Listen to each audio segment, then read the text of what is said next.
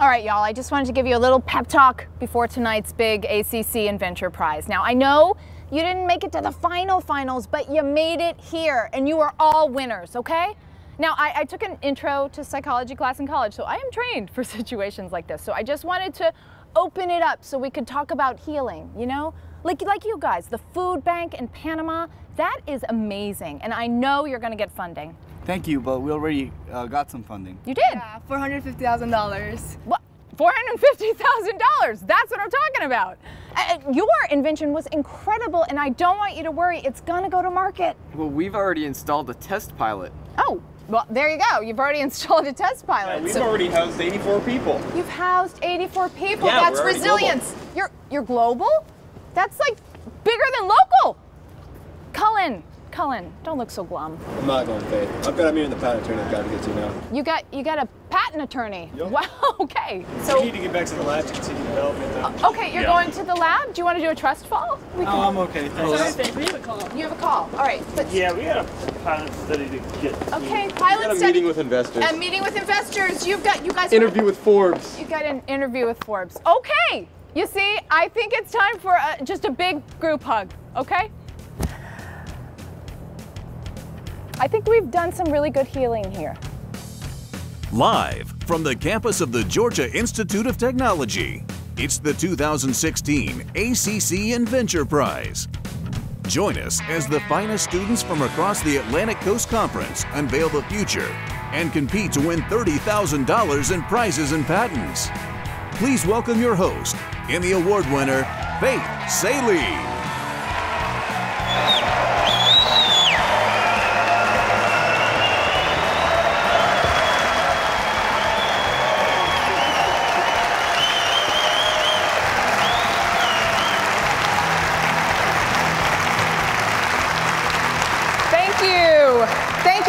Welcome to the first ever ACC Inventure Prize. I am so excited to be your host this evening, not only because I have a front row seat to all of tonight's mind blowing inventions, but also because the Atlantic Coast Conference itself is amazing. And trust me, trust me, you guys, I am not biased because I, I went to an Ivy League school. So, I mean, now that I think about it, this is probably the largest group of ACC students I've ever seen who weren't knocking my alma mater out of a tournament. So there you go. Uh, we have an amazing show for you tonight, but our competition officially began last night when 15 teams from across the ACC presented their unique inventions and concepts in our preliminary round. Tonight, the top five teams emerging from that round will battle it out for $30,000 in prizes, including first place, second place, and our People's Choice Award. So, to learn more about those, let's send it over to my fabulous co host, Ashley Mengwasser. Thanks, Faith. It's great to be here and to see all of the support for our inaugural class of ACC Inventure Prize finalists. Now, I'll be speaking with several of their fans later tonight, but first, let's talk about those prizes you mentioned. The team that wins first place will receive 15,000 bucks to help take their idea to the next level. The team that wins second place will also earn some money to help fund their business in the amount of $10,000. And while the judges determine which teams are awarded those two prizes, it's up to the viewers, that's you, to decide who gets our People's Choice Award. That's right right. If you have a favorite team and you want to make sure that they go home with a check for uh, five grand, you'll need to text that team's keyword to 22333 or visit pollev.com slash inventure prize. Now, voting won't open until all five teams have presented. I'll give you each team's keyword at the end of their presentation, and I'll remind you of them again when it is time to vote. So be careful to avoid autocorrect. You'll need to type those keywords exactly as they appear on screen, or your vote won't register. You can only vote once per device, so choose once and choose wisely. And again, I'll let you know when it's time to vote, but for now, I send it back to you, Faith.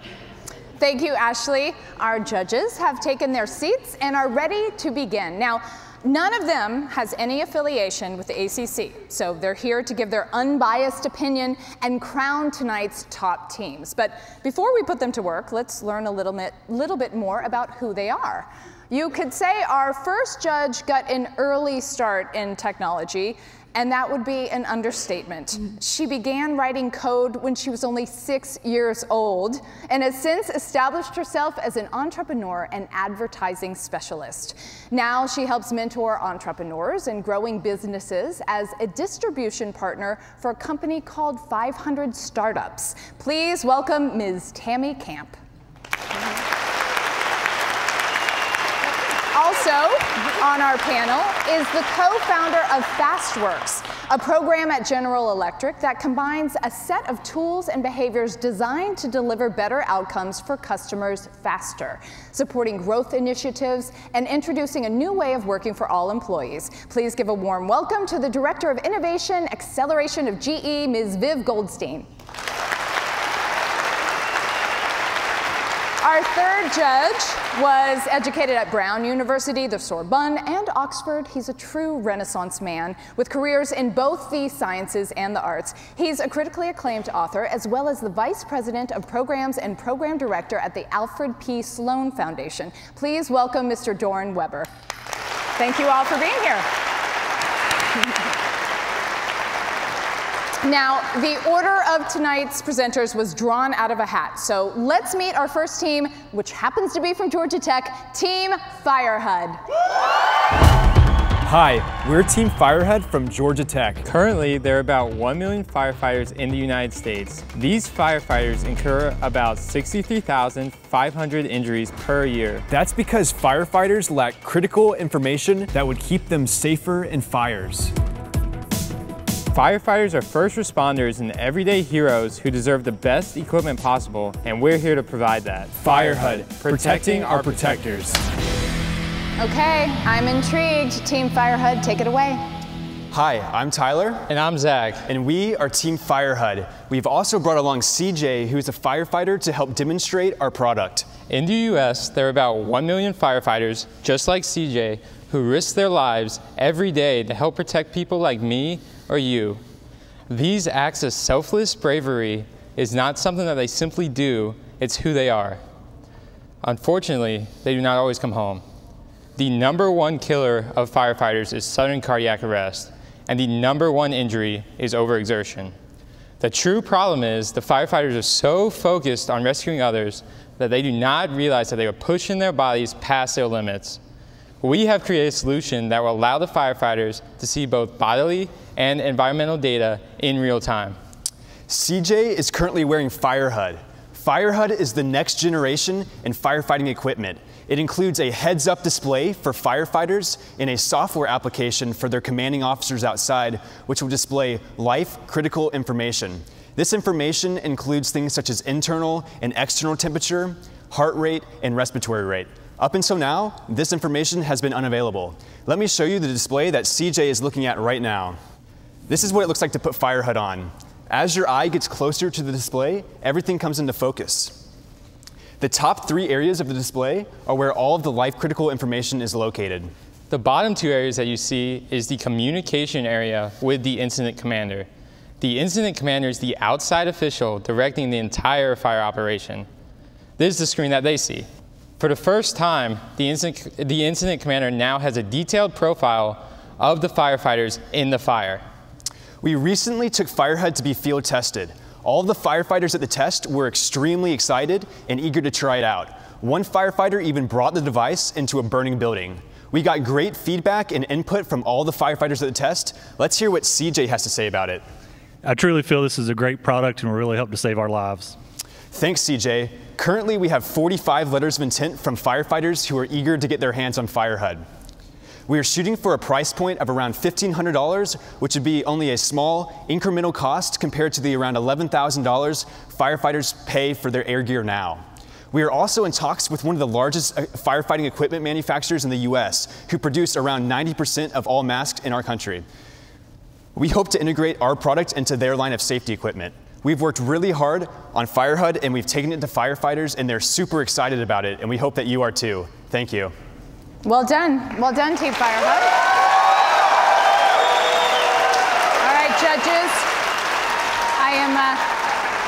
I'm sure you're burning with questions, so Yeah, who first? Absolutely.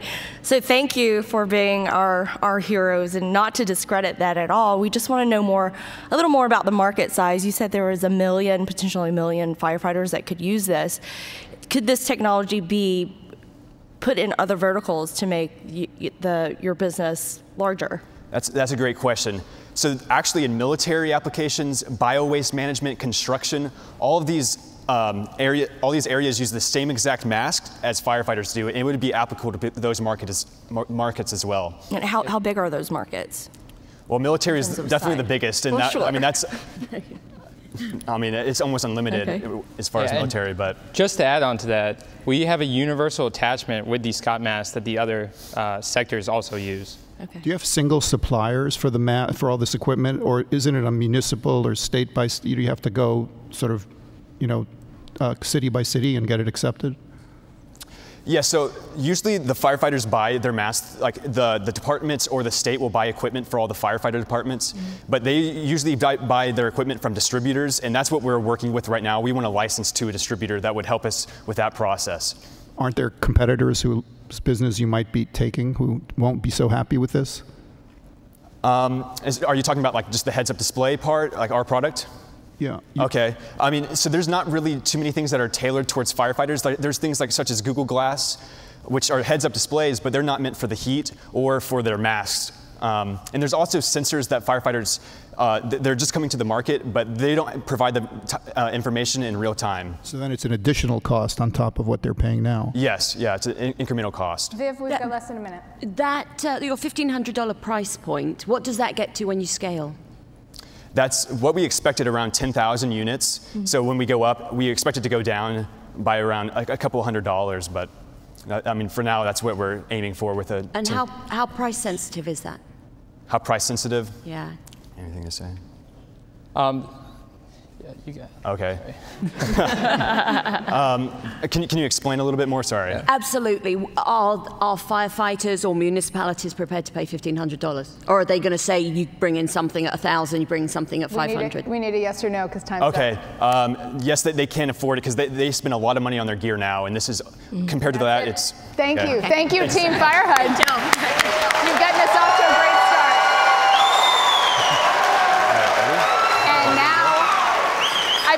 Ashley is in the audience with a Firehud fan who can tell us a little bit more about how they got here. Things sure are heating up on stage, Faith. But yes, I have with me Amanda Richardson, the wife of the firefighter you just saw on stage, who actually inspired this invention. Now, Amanda, share with me the spark, if you will, that gave way to FireHUD. So Zach and my husband CJ were talking at a bonfire, and they were talking about how um, a real fire is the um, it's a, really very hot, and um, the smoke is very dark and dense you can't see, and that um, you know firefighters have a hard time, and they can really come into trouble um, with their health as a result of um, the stress that they undergo in a fire. Okay, so talking about fire at a bonfire, that is very meta. So they put on these fire HUDs, which stands for Heads Up Display, HUD. What's it like inside there? I have to know. So just like on a video game, on, on the um, on the screen, you can see icons at the bottom. Um, you'll see when you put it on. Um, towards the bottom left, you'll see a little square, and it'll kind of give the biometrics from that. And they take that from a little ear in the earpiece, and that's where you can get the um, the information. Okay, so it's like a digital video game. It's like a Dave and Buster's experience up in there. Okay, I've got to try one of those on later. But if you thought that the presentation was on fire on stage, later when the polls open, you're going to text keyword FireHUD to 22333. Again, once voting has opened, I'll tell you when. Back to you, Faith. All right, we've got four more teams and only a one hour show, so let's take a look at our next team from Duke University, Team Biometrics. Hi, we're Biometrics from Duke University. Every year, NCAA athletes will lose about 60 days of gameplay due to injury, missing out on huge opportunities. Luckily, almost 70% of those injuries are preventable. By quantifying how athletic form fails under fatigue, we empower athletes to improve their resilience to injury and stay healthier longer. All right, Team Biometrics, let's race right into your presentation. Here we go. Hi, my name is Gabby and I'm here with my co-founder Ivana. We're both varsity athletes from Duke with experience in mechanical engineering and data analytics. Now, I was a second team All American, but I really only spent half of my time training and competing at a high level. The second half, I spent recovering from injury and rehabbing from surgery. But I am not unique. NCAA athletes lose on average 30 days to injury each year, with 70% of these injuries, next slide, being completely preventable, largely because they're due mostly to biomechanical issues. We spent the last four years desperately searching for a solution to this issue. And really the best thing that we found is staring into a mirror looking for bad form with our PTs on their iPhones recording. So let's test your eyes. Have you noticed that I tend to asymmetrically load on my left leg or that my hips are actually positioned in a way that I'm more susceptible to another labral tear? Well, Biometrics has. Biometrics provides physical therapists with exactly the biomechanical injury risk factors that they currently look for to make clinical decisions but now it's faster, it's more objective, and we're able to do it anywhere, even beyond the training room. Biometrics is the only truly high performance wearable sensor available in the market today. It's custom designed specifically for the needs of elite level athletes and can be worn on any of five different locations on the body directly on the skin. The sensor itself is being used at Duke University and UNC as a strong diagnostic tool right now in the research setting. In the fall, with five universities in the NCAA, we are launching our first real-time feedback application for coaches and athletes. And later next year, we'll be launching our first training and rehabilitation uh, optimization tool, specifically with five, or excuse me, with 20 universities in the NCAA. We've gained incredible traction over the past year and have even forged a strong partnership with one of the world's leading motion capture firms. These are customers that understand fully our value proposition. So to help you understand, we'd like to use this example with Stanford University. Over the three years, Stanford athletes will incur over 3,000 injuries. With our early projections, biometrics can save them over $1.4 million in rehabilitation costs alone with our platform. That's two sensors per athlete, plus a subscription to our software. The athletic tech space is booming and on the rise. But if I can stress one thing, it's that this is uniquely different. Unlike any other platform, this is injury prediction. This is injury prevention. Biometrics fuses the ease of use of consumer wearable technology with the deep analytical insight from clinical solutions to provide our users with something that is truly usable and impactful. With the traction and excitement that we've stirred in Division One athletics, we are excited to move into professional NCAA. Okay, we've crossed the finish line. Sorry, got to cut you off right, here. thank you so much. Judges, who has the first question for biometrics? Um, I'm not an elite athlete, but I used to be, and I run triathlons still. And I'm wondering cool. what exactly you're going to do for me. You know, when I when I get a running shoe, they take a picture of me, and and I run in place, and they analyze my biomechanics. So a lot of this already exists. So what exactly new are you bringing to the market, other than that I wear this? Yeah, so it's taking that exact application that you have in a one sort of instance occasion, and now we're taking it and we're applying it throughout your entire training. So if you know that you are a heel striker and so you need a little bit more structure in your shoe, then we're able to provide you that feedback if you're actually performing, if the shoe is giving you the support that you need, but really that your biomechanics are leading you mm-hmm. to that point that you're not going to be injured like the week before your triathlon. And specifically because the way that you're running on a treadmill in the store or in the clinic is not the same way that you run on a trail, on a track, or any other environment that you might find yourself in.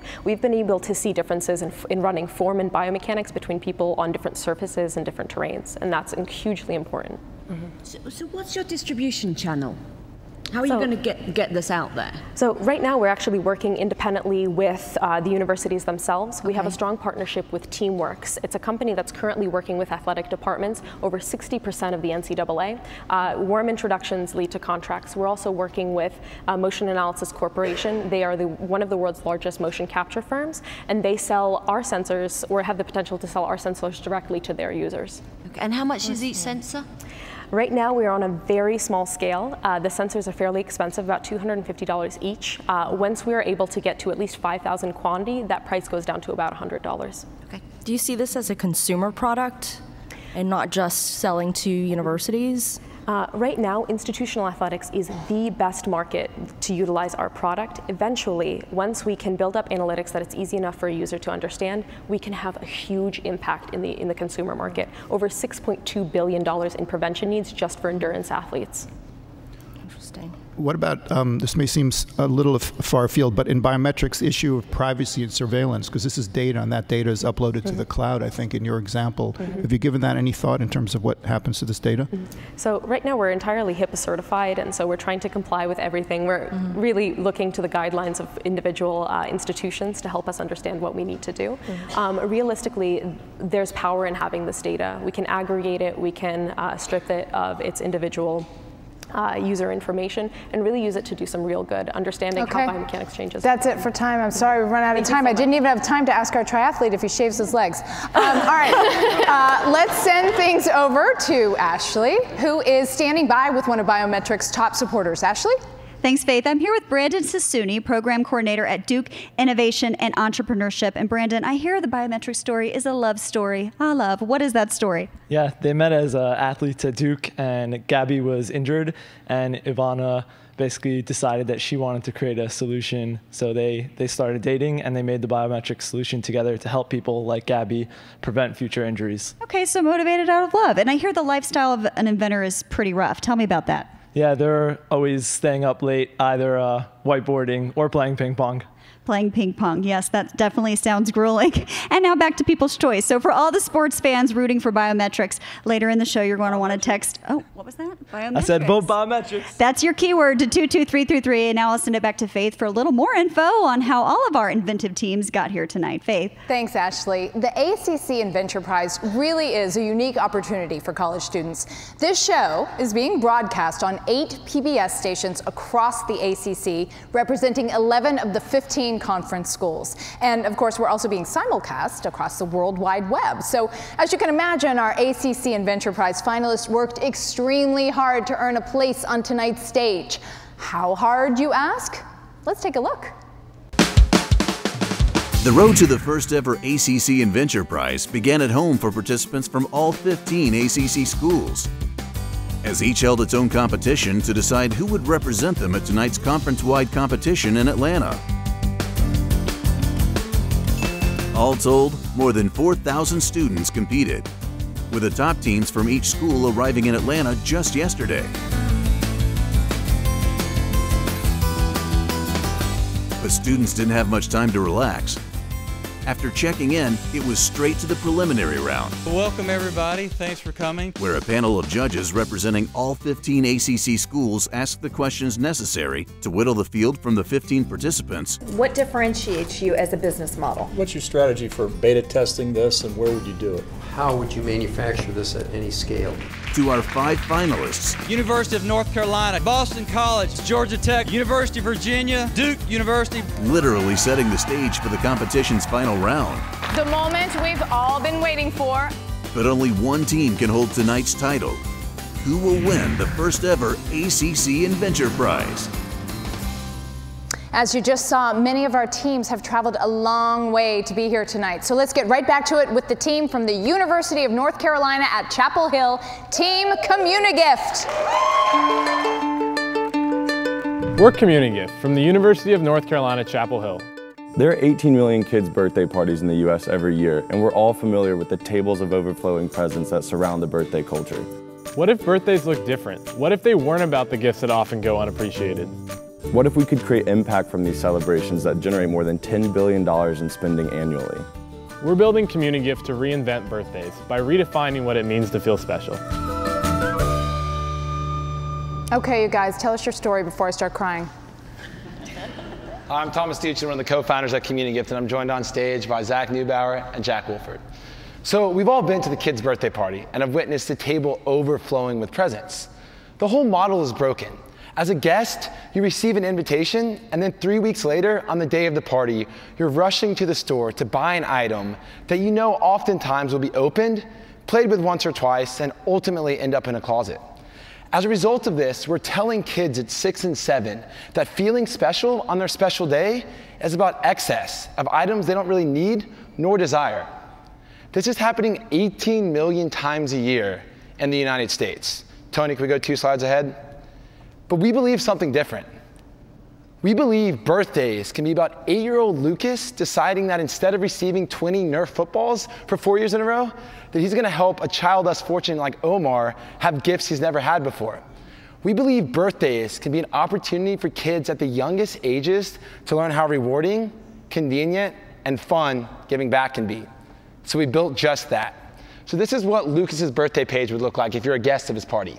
You'd come, you'd be able to read about the party details and RSVP, and then you could read about the birthday buddy that Lucas himself selected from one of our nonprofit partners. You'd be able to buy an item that ships directly from our site to the nonprofit that is then gifted to Omar. But more than just a big belief and a cute screenshot, we've launched and it's worked. In the past four months since we launched our pilot in Los Angeles, we've seen over 1,600 guests invited to the platform. About 515 or 70% of those who have RSVP'd purchased an item for a child in need while RSVPing. And most impressively, we've seen a growth coefficient of three and a half, meaning for every CommuniGift party hosted, three guests have signed up for their own CommuniGift birthday. We've also been fortunate to be featured in TechCrunch and on NPR. We've also created a revenue model that's inherent to our value as a company. Rather than charging the donor or the nonprofit, we receive a percentage of every product purchased from our retail partners. Right now, we're working with exclusively Target, but we hope to expand and go direct from manufacturer. Beyond just our retail partners, our nonprofit partners play a very important role in what we do. They help us find the children in need and handle the distribution of the gifts. We're working with great national partners like Boys and Girls Club and Salvation Army, as well as hyper-local partners within each city. These partners are huge in our ability to scale and also help us build a competitive advantage. On that note, we're really excited about building a company at the intersection of And tech. time. Oh, the intersection of tech and uh, bouncy castles. And on that note, Um, one last thing. uh, No, sorry, it's for time for. Is it, we got to be fair. It's like clowns without borders, you guys. All right. Um, So listen, I've got three kids. I get this. I understand Cool, it. But let, help me understand. You're in market. You've run a pilot. I'm going to ask you three very simple questions. What did you do? What did you learn? And what are you doing differently as a result of that pilot? Fantastic question. So we launched and we wanted to learn as quickly as we could. And so I think our two biggest lessons were one, how important this internal growth drivers were going to be, right? So we didn't need to go spend a ton on acquisition if, if guests were turning into hosts. So in providing an incredible experience for guests where they understood what was going on and felt the impact was really important to grow our user base. Two, we realized how important our nonprofits were going to be in our ability to scale. So we realized that we could go and we could seed markets by forming one nonprofit partnership within each city and watching growth before we started to spend within each city. Um, I have a problem with your core concept. My name is Little Johnny, and I want my birthday present. Why are Yeah. you taking it away? Absolutely fantastic question. And so we, we thought that going in as well. And then there was something when we put the platform in front of the kids and we said, enter your birthday and find another child and read about them. And it just clicks. They, they say and they read and they put in their birthday and they say, so you're telling me Omar is not going to have any of this if I don't help? And the answer is yes, and they connect. And so it seems counterintuitive. It seems like it doesn't work, but all the data shows that giving truly is better than receiving. And so we're trying to build a platform that really fosters that notion Mhm. and brings us back to this society where giving back feels good and you're proud of it. Tammy? Interesting. Um, so Facebook has a million, no, I'm sorry, a billion users, and um, they've had gift platforms in the past, and they have not worked out. So what's going to be your, you know, differentiator Yeah, to kind of get that distribution that they Yeah, have? and that's a fantastic question too, because there's been a ton of gifting Yeah. startups that have ultimately ended up dying away. So what I think is, I think our aspect of coming at it from a social and a charitable aspect is something that hasn't been seen before. So there a lot of gifting platforms that was like recommend a good gift for a friend, Mm-hmm. buy that gift, things like that. And we're saying, let's like break this concept that it's about receiving on a celebration and let's bring you back to giving and so we think that like that notion is going to lead to, to incredible engagement and incredible experience and thus we're going to be able to find great growth so our kind of our big hypothesis is relying on that notion that giving feels really really good What do your two co-founders do? yeah so jack jack handles Hi, over there. They don't, They speak, They don't speak. They don't speak. They don't speak. So Jack handles all of our development work, and Zach actually handles all of our partnership stuff with our nonprofits. Okay, great. Zach, you made a move to say something. I'm going to let you. Go for it. I was gonna say I feel like the luckiest of the three. Our, our, our partners are amazing. We have incredible relationships with them. Um, they're in both in LA and in North Carolina now as we look 10 expand. seconds. Anybody got a final? We negotiated the deal with Target. So we worked with a third-party universal shopping cart company called Cosmic Cart that fostered that relationship. Okay. okay. That's it. There's your answer. Thank you, judges. Insightful questions as always. Thank you. Now let's send it back to Ashley, who I believe is standing by with a member of the Communigift community. That's right, Faith. I'm here with Brent Macon, the co founder of Primer Sports and a mentor to this team. So, Brent, they just asked the question. I'm thinking of those seven year olds, even those 30 year olds who might not handle this concept maturely. Do those self serving habits die hard? Well, it's a magic moment when you take a kid, show them another kid that looks a lot like them, and tell them that they can have the chance to give them their first ever birthday present. Um, it just feels better to give. Does it? Okay, I'm going to give you this microphone. Take it. Bye bye. Bye. I guess I'll host then. I think I'd rather. No, I don't want to give it. I felt good about it for just a second. I know it's been a tough week for UNC basketball, but what would it mean to take home the first? E- oh, whoa, whoa! The first ever W for the ACC Inventure Prize. So a little bit too soon for that question. Uh, Oops. But it would just show UNC's got a great commitment to entrepreneurship as well as athletics. So uh, didn't get the W on Monday, but hopefully CommuniGift gets the W tonight. But you could tonight in the spirit of innovation. So that keyword for later is CommuniGift, and you're going to text that number to 22333 if they've stolen your heart later in the show. And now back to you, Faith, to introduce us to our next finalist. Our next team is ready to take the stage. Show from the University of Virginia. Let's meet Team Contraline. Hi, I'm from Team Contraline from the University of Virginia, and we're solving the problem of a lack of appealing male contraceptives. Of the 1.5 billion sexually active men worldwide, 73% rely on their female partners to use contraception. Contraline is developing a revolutionary, non-surgical approach to a problem faced by millions of people every day, and we're happy to provide them with an appealing solution. Okay, Team Contraline, it's on the line. Go. Hi, my name is Kevin Eisenfrats and I'm the co-founder of Contraline. We're a biotechnology company from the University of Virginia and we're creating a new male contraceptive. Since the birth control pill came out 60 years ago, there have been many other contraceptives to hit the market, but they all have one thing in common. They put the responsibility on women. Out of the 1.5 billion sexually active men worldwide, 73% rely on women for contraception. And why is that? It's because men only have two options, condoms or vasectomy. Condoms are single use, they have a failure rate of 18% and a dissatisfaction rating of 57%. And vasectomy, while it's effective, it requires surgery and it's too permanent. So we went out and asked men, women, and physicians, what would you like in a new male contraceptive? So what we are designing is the first long-lasting, non-hormonal, and reversible male birth control for men. So how does it work?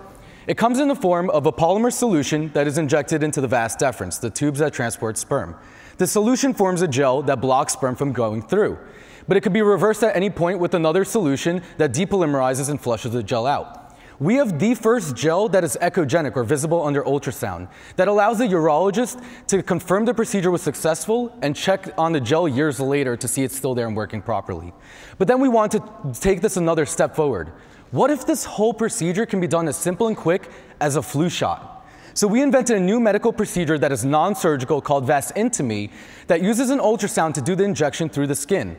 It's quick, it's painless, and because it's less invasive, there are fewer complications from it.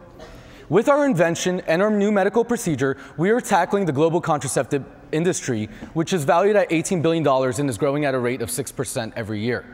Our comparable product is the IUD for women, which brought in $1.1 billion in 2014, is growing at 10%.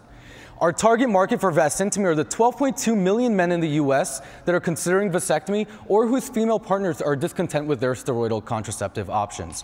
Altogether, this is a $2.7 billion opportunity. We have an incredible team of undergraduate biomedical engineers from UVA who are spearheading the product development. We have won multiple university and national awards for our invention, which we have used to collect proof of concept data. And on top of that, we have an incredible interdisciplinary team of advisors, including biotech entrepreneurs, including biomedical engineering professors, urologists, and pharmaceutical executives. Together, we have one mission to create the first safe, effective, and appealing contraception for men. That is why we believe at Contraline we're creating the future of male contraception. All right. Now, uh, you know, when some inventors discover something, they say, Eureka! Did you say urethra?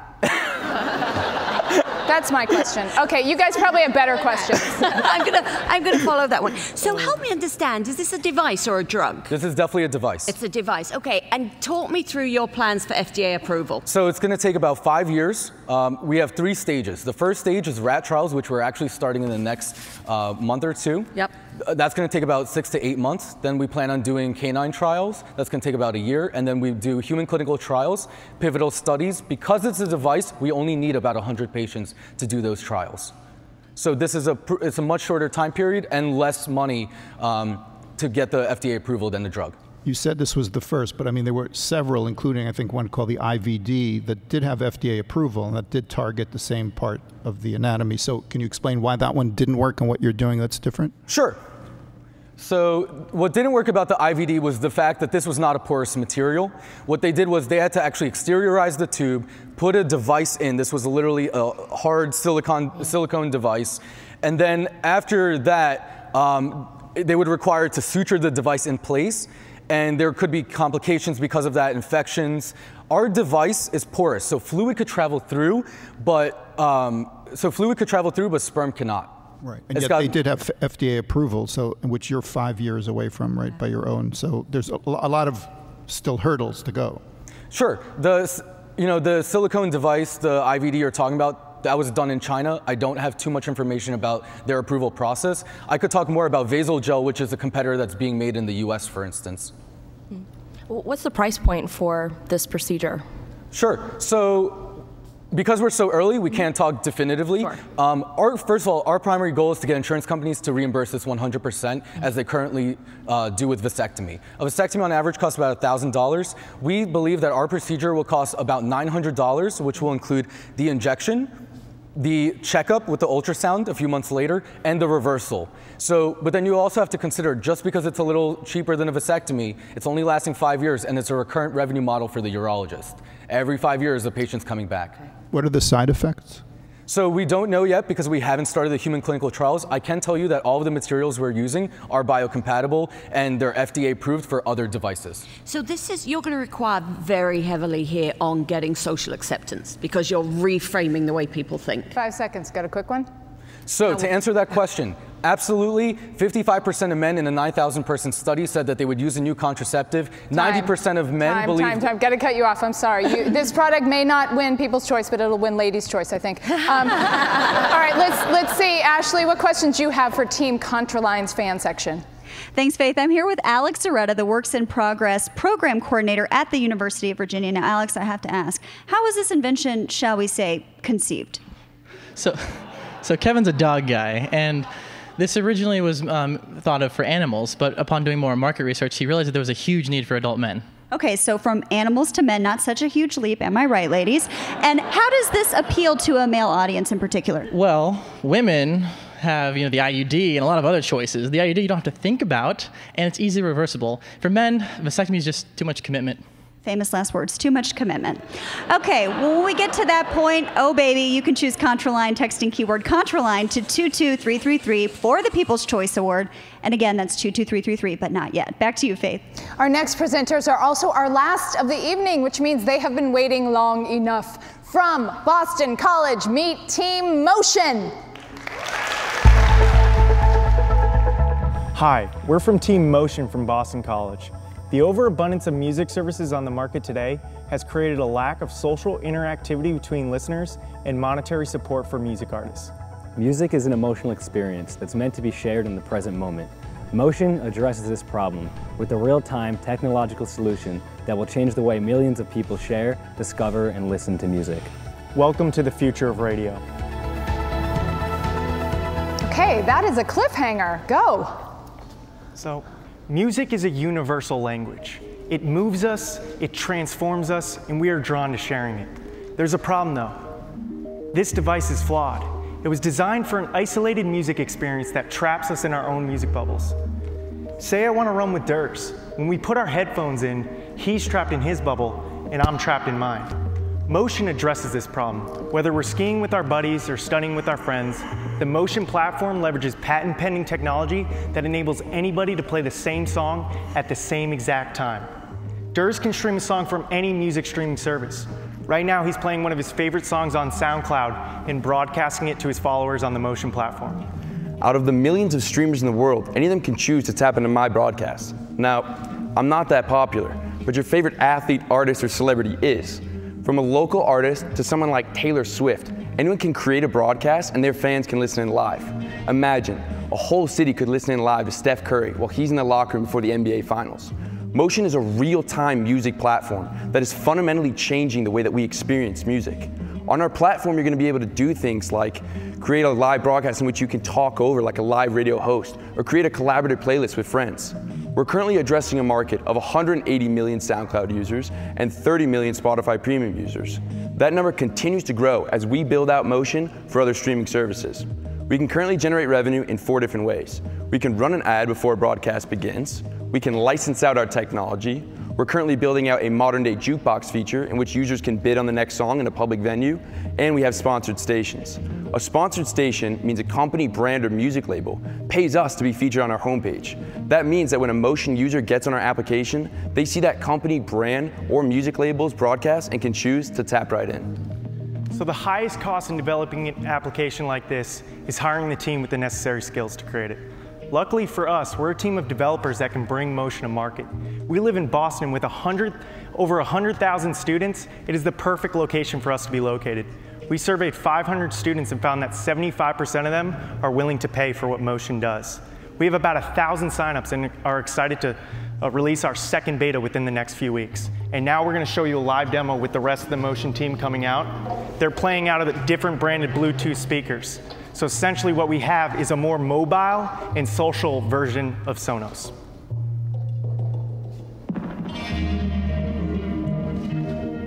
Thank you. All right, judges, let's hear your questions for Team Mocean. we can keep it. uh, so you referenced Spotify. They're up to about 75 million, let's say, users, of which 30 million are paying. So it's a freemium model, and they're still not making money. They're they're a lot of revenue, but they're not profitable. So, how, how are you going to actually show a profit? Yeah, so we're just teaming up with these streaming services. Um, essentially, our users are their users. So it's important to note that our technology not only scales to Spotify, scales to SoundCloud, Apple Music, and the rest on the market. Our revenue model isn't contingent upon, the business model that streaming services had. Um, we have a sponsored station which is contingent upon scalability and advertisements. As Durs mentioned, these sponsored stations are where ad companies are going to come in and say we have LeBron James uh, streaming on his services. We can have the ad company pay us $20 per 1,000 views, which is a business model that is similar to Snapchat, um, Hulu, and YouTube. But before we even get there, we have this modern day jukebox feature, which allows a bar or um, anybody that's um, at a fundraising activity to enable their users or community bid on the next upcoming song to, um, to control the ambiance in the room. So it's a fun interactive way for us to make money and for you to make money as well. I'm struggling with really understanding the problem that you're trying to solve for. So like what who's the customer and what's the problem? Yeah, so our target demographic user is the normal everyday college student and high school student. Mm-hmm. Um, a joke is that millennials like never really talk to one another. We use all these social applications. So we're building a, a social application that revolves around music, and music is one of the uh, most powerful forms of communication because mm-hmm. we're tapping into another person's emotion in the present moment. Have you reinvented the concert, the live concert? Because there, people do come together and listen to music yeah, exactly. at one time. Yeah. yeah, silent discos, things of that nature. You can get you can go crazy with this. What's the difference? How, how is this different from like uh, Periscope or Meerkat? So we're very similar to Periscope, except we're just doing it real-time audio, and we're creating an entire experience around music. Okay. Our latencies are a lot lower than Periscope too, because the latency necessary yeah, for a perfect synchronization of audio is less than 10 milliseconds. Okay. Great. Second. Okay. Thank you, Team Mocean. Thank you very much, and thank you, judges. Our judges have asked a lot of thought-provoking questions, and all of our teams were up to the challenge. So deciding tonight's winner is not going to be an easy task. And with that said, I will send you off to deliberate or arm wrestle or whatever you people do. Uh, that also means it's almost time to, to open up the voting for tonight's People's Choice Award. So everyone should stand by for that. But before we open up the voting, I'm going to send things back to Ashley, who's now joined by someone with a little more insight regarding Team Mocean's path to our stage. Ashley?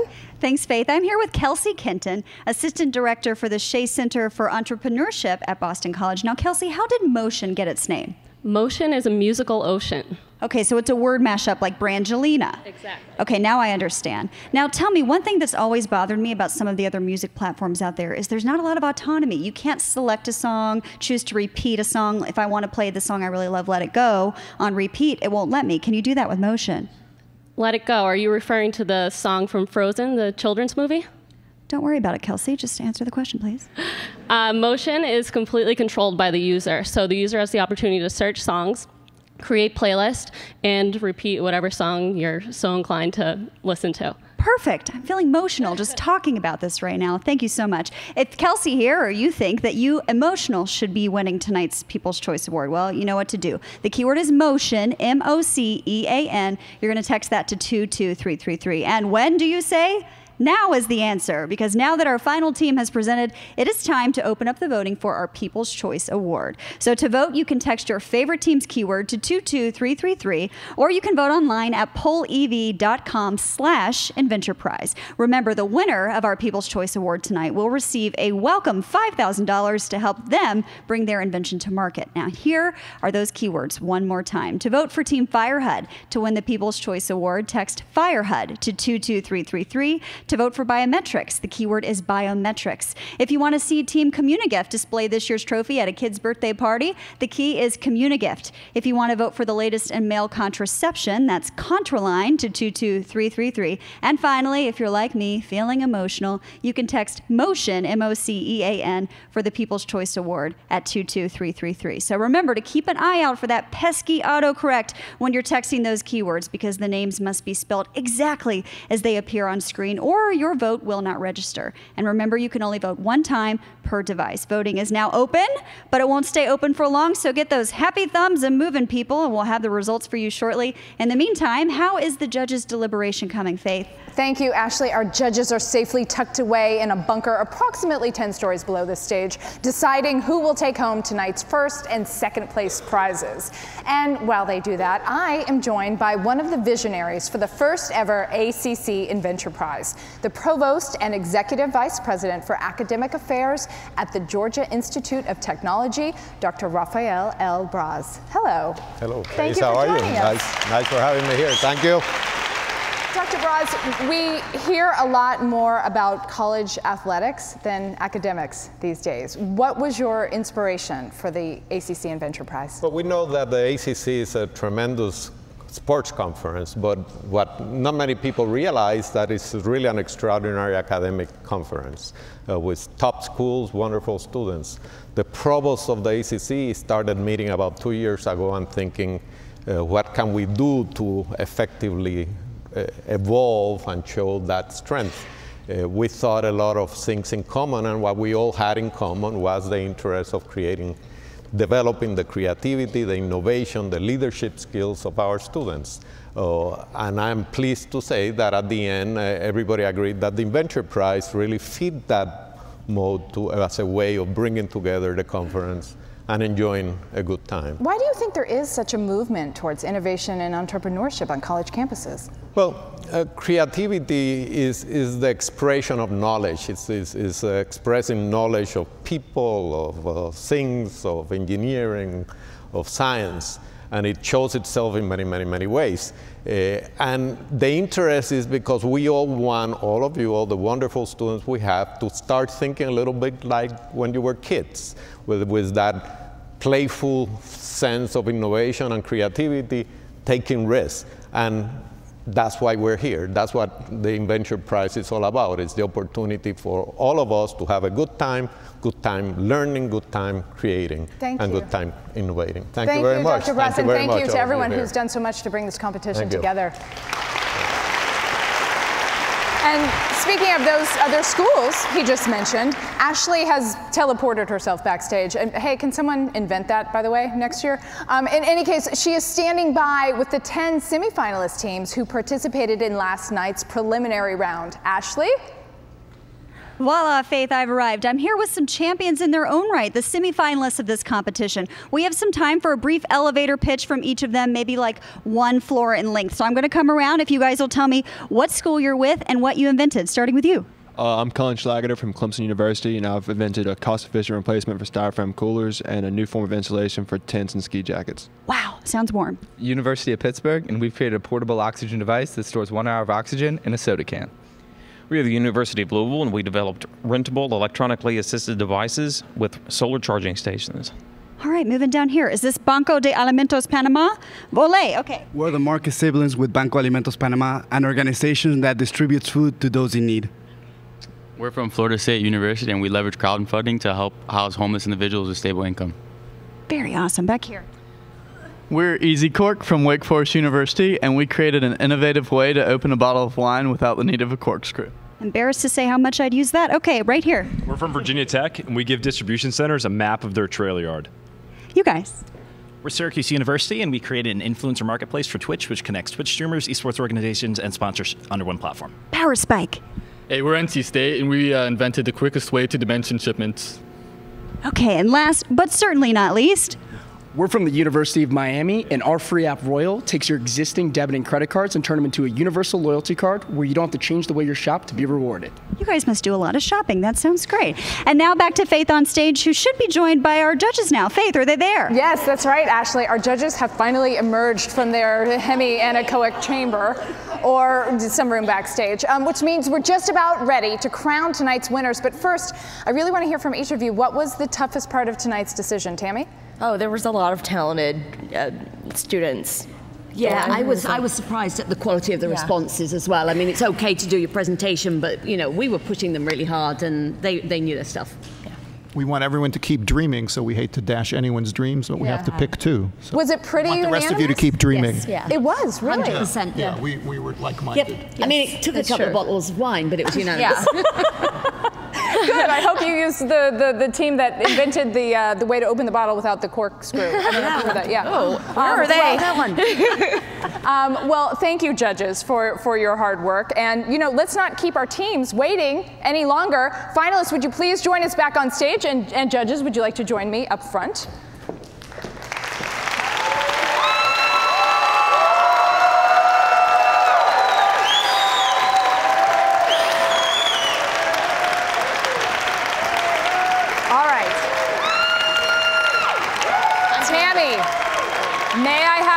People's Choice envelope, please? Thank you.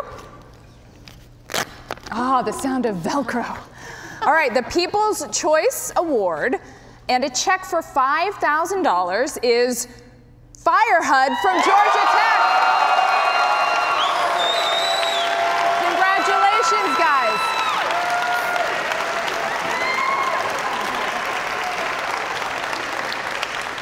And now it is time to announce our second place winner. The team will be receiving a check for $10,000 to help take their idea to the next level. Viv, may I have the envelope, please? I know, right? And, all right. Uh, the runner-up for the 2016 ACC Inventure Prize is Team Contraline from University of Virginia.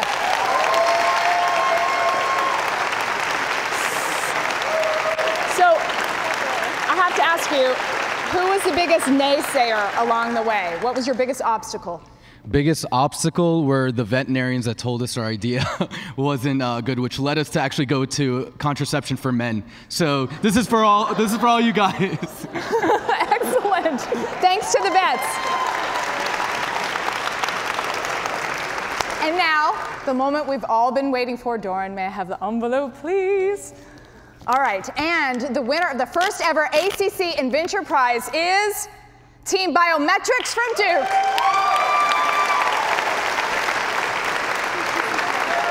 Congratulations, ladies. Thank you so much. All right, so please tell us whom would you like to thank? We would like to thank all of the wonderful people uh, at Duke Innovation Entrepreneurship, uh, and specifically Melissa and Doug Bernstein for all the help that they offered. And uh, yeah, as well as our great advisors. I mean, Zach Marides and Sue Harnett have been a huge support in getting us to here today and into the future. Thank you. Thank you all. and, and, and I think a lot of athletes and colleges will be thanking you. so, so what was the most challenging for you guys? We, well, we, we started out with an idea. We had to learn all of the hardware, software, everything from scratch. and it was a fun experience, but, and we've learned quite a bit, but it was quite challenging. Mm-hmm. Yeah, I mean, starting from square zero, basically. We, we had a vision and we had to get there somehow. So, what's, a, what's the one piece of advice you would give some, a college student out there who thinks he or she has a good idea, but oh, it's going to be so hard to execute it? Don't worry about the idea, worry about the problem you're about to solve. Mm-hmm. And people are going to say no, so just go for it. Thank you. Thank you, guys. Everybody said yes tonight. Congratulations. And that wraps it up for our inaugural ACC Inventure Prize. Congratulations to Team Biometrics, Team Contraline, our People's Choice winner, Team FireHUD, as well as all the teams who participated in the finals, the preliminary round, and the thousands of students from the early competitions across all of the ACC schools. Thank you to Ashley, our judges. Thanks to everyone who watched at home, of course, and all of you who voted. I am Faith Salie, and that's it for the first ever ACC Inventure Prize. But we will be back here roughly one year from tonight for the second one, and we hope to see you then. Until then, good night. And remember, there may be, there may not be an I in team, but every accomplishment has an ACC. Thank you. Good night.